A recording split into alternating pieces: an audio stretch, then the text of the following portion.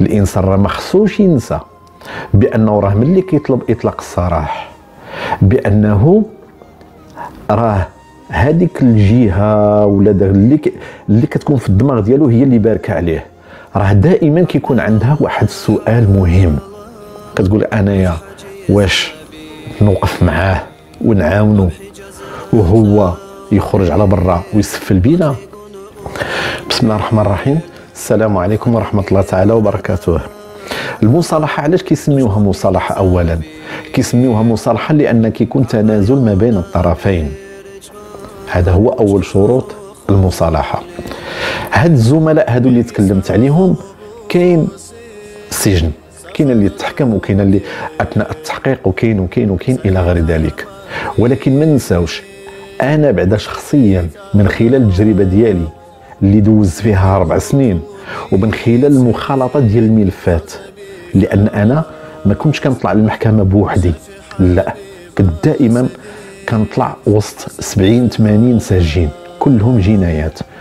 وعلى مدى أربع سنين شفت وشفت وشفت الأمور اللي كتسهل الإنسان أنه يفك المشكل ديالو بأقل الاضرار اللي شفت اللي كنشوف أنا حاليا هو أنه هاد الزملاء كاملين راه كاين عوائق خاص الناس اللي كيناديو بإطلاق السراح ينتبهوا لها أنا غادي نهضر من الناحية القانونية.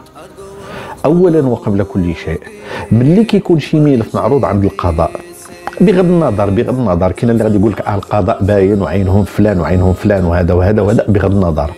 ملي كيكون وجود طرف مشتكي طرف مشتكي أو جوج أو ثلاثة أو أربعة هذا أول عائق. ومن هنا كتبدأ الخدمة. والإنسان خاصو يتواضع مع ذاك الطرف المشتكي بغض النظر. واش مشتكي بصح؟ واش مشتكي كيدي؟ واش مشتكي وكذا؟ واش مشتكي وعنده الأدلة؟ واش ما عندوش الأدلة؟ واش ناقص؟ واش ما ناقص؟ بغض النظر. ولكن هذه أولى الخطوات اللي كتسهل من بعد الحلول الملف. أما أنت مثلا كتنادي بإطلاق السراح فلان وفلان وفلان وفلان يخرجوا. فلان هاك. كتنادي. وكاينة أطراف مشتكيه بغض النظر. هذا راه أول مشكل خصو يتحقق هو أنه يتفك هذا المشكل.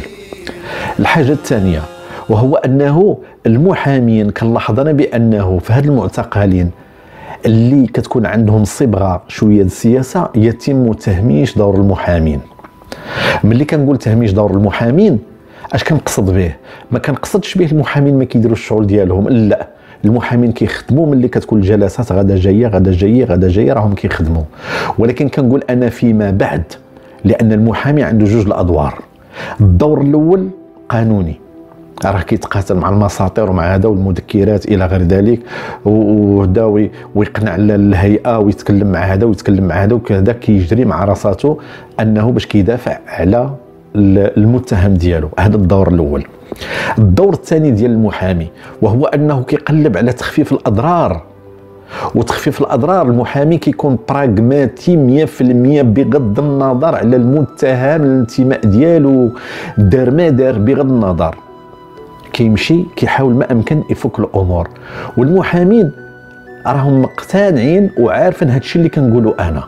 راه أي محامي ملي غادي تقول أنا تحكمت بالقد والقد.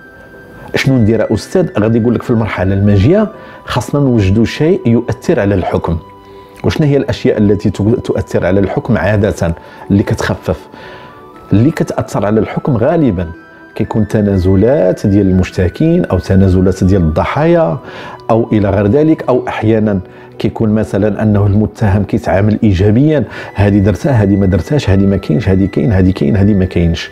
اذا أنا ما غاديش نفصل في هذا الدور والمحامي راه كيعرفوني أنا شنو كنقول. هذا إلا بغينا المصالحة. أما ديك المصالحة وداك الانفراج ديال أنا عندي فلان وفلان وفلان أطلقهم. فتح الباب وزيد. فرحنا كنطيحوا في الباب ديال المزايدة. علاش؟ لأنك طلب الصراح المؤقت. المتهم ماشي هو طلب إطلاق السراح السراح المؤقت ممكن وعنده الشروط ديالو وبنادم خصو يقرا ديك الشروط ويتعامل معها كتكون كبداية. أما إطلاق السراح هكا ما صعيبة صعيبة. الحل ديالها إطلاق السراح خصوصا اذا كان الحكم النهائي. وكان آه، يعني استنفذ جميع الطرق ديال الطعن. راه كيبقى الحل الأخير هو طلب العفو الملكي. وحتى طلب العفو الملكي راه كيكون مشفوع بمسائل تؤثر على الحكم اللي كيكون استئنافي. أنا ملي كنت في السجن كنت كنطلب للناس كنطلب لهم الع... كنكتب لهم طلب العفو. هما اللي كيطلبوه. وكنت كنكتب أنا طلب العفو. دازوا ناس كذا خلينا من ديك الجرائم الجنائية والقتل وكذا والنصب وزيد وزيد وزيد وزيد وزيد. وكانوا الناس ديال التهريب المخدرات زيد وزيد. كنت أنا كنكتب لهم طلبات العفو. وهاد طلبات العفو ما كنتش كنكتب غير ورقة. لا كنت كندير ما يؤثر على الوضعية ديال السجين مسائل عملية. كنقول له أجي لهنايا. عندك شي تنازل ديال الضحايا ولا شي حاجة؟ شوف كيف دير تفاوض. ارا جيب التنازل جيب هذه جيب هذه جيب هذه جيب هذه جيب التصريح بالشرف جيب الالتزام بأنك من مور هذا الشيء كله ما غاديش تخرج وتبدا تغوت وتقول أنا مظلوم وجيب كذا. جيب هذه جيب هذه جيب هذه داك الشيء كله كتشفعه وكتدفعه علاش؟ غادي نهضر بشوية ديال المجازفة. ملي كيكون شي متهم كيغوت كيقول أنا مظلوم أنا تعدوا عليا تعسفوا عليا أنا القامع أنا هادي أنا كذا أنا كذا داروا لي خمسة داروا لي عشرة داروا لي عشرين داروا لي ما نعرف شنو هو. الإنسان راه ما خصوش ينسى بأنه راه ملي كيطلب إطلاق السراح بأنه راه هذيك الجهة ولا اللي اللي كتكون في الدماغ ديالو هي اللي باركة عليه. راه دائما كيكون عندها واحد السؤال مهم. هو كالتالي. هذا السيد هذا اللي كيقول بأنه مظلوم وبأنه كذا وكذا وما غيسكتش وبأنه غادي يفعل وغادي يترك وكذا وحقه وغادي يموت عليه وزيد وزيد وزيد وزيد. الجهة اللي كتكون ضاغطة إلا كانت شي جهة راها كتفكر. كتقول أنايا واش نوقف معاه ونعاونو وهو يخرج على برا ويسفل بينا؟ اذا المصالحة راه خاصها شروط. والمصالحه خص يقودوها ناس خبراء. خلينا من ديك العواطف والحماس. لا لا لا لا. المصالحه المصالحة راه خصها ناس خبراء. ناس احتكوا بالواقع. كيفكروا لجميع الأطراف اللي عندها علاقة بالملف.